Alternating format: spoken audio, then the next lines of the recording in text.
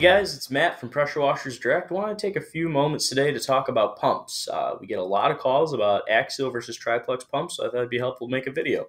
Uh, I wanted to go over some key differences with you. Uh, so, starting out, your axial pumps, those are going to be like your consumer grade pumps. Uh, they're frequently referred to as maintenance free uh, because they don't require any maintenance.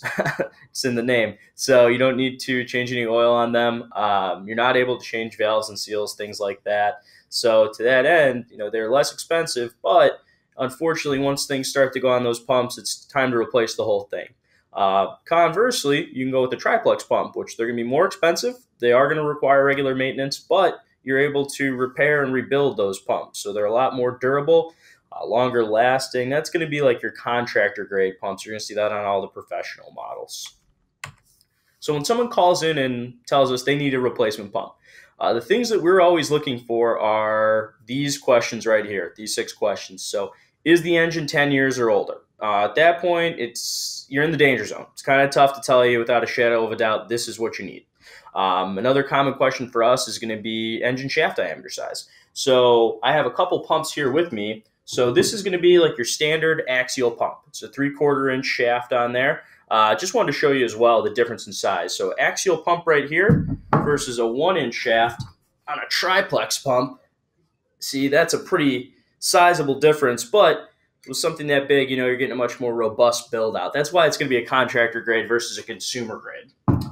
Past that, uh, we're looking at bolt holes on the pump. So this has four bolts, really eight holes on it, just to allow for a little bit more range when mounting it. Versus uh, this here, another axial pump, but this is a three bolt pattern. So the bolt pattern is definitely going to be one of the most important pieces of information we're looking for when trying to size the pump for you.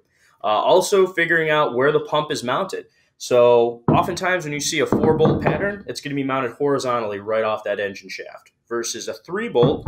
That nine times out of 10, probably more really, is going to be mounted vertically underneath your engine. Uh, past that, then we need to figure out horsepower or cc's of the engine, basically how strong it is and you know what size pump it can drive. And if you can get us that model number on the engine, 10 of 10, that's exactly what we're looking for. Uh, that was a quick one, but I hope you enjoyed the video today. Uh, if you need any additional help, please give me a call or anybody here a call. Our phone number is 866 618 9274. Uh, you can visit us on our website, pressurewashersdirect.com. Send us an email at service at pressurewashersdirect.com. I mentioned it in my last video on surface cleaners, but if you're a do-it-yourselfer, check out our Pinterest. We're getting a lot of folks taking a look over there, and uh, you know we're trying to post some really interesting articles and help you out with those do-it-yourself projects. Outside of that, uh, please feel free to check out our YouTube channel, youtube.com slash user slash pressure washers direct. And thanks for watching.